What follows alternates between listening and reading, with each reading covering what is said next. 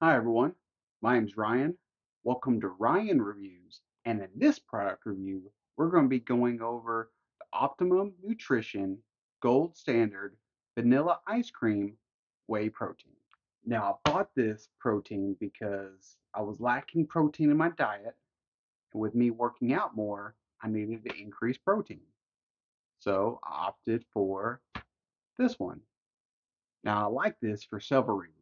One, because I happen to like vanilla ice cream and it tastes just like it. Also, for every one scoop of protein, it's approximately 120 calories and you get 24 grams of protein for every scoop. Now, it's really easy to use. You can take a scoop, you can put it in your, your shaker, put a water bottle, shake it up, and you're good to go. Or sometimes what I like to do is add a scoop of protein in with my ingredients that uh, if I'm making something. If I need extra protein into my meal, I'll add a little scoop of protein, maybe in some yogurt. Have a, a vanilla yogurt. It's pretty good. And I hope this brought some clarity to your buying journey.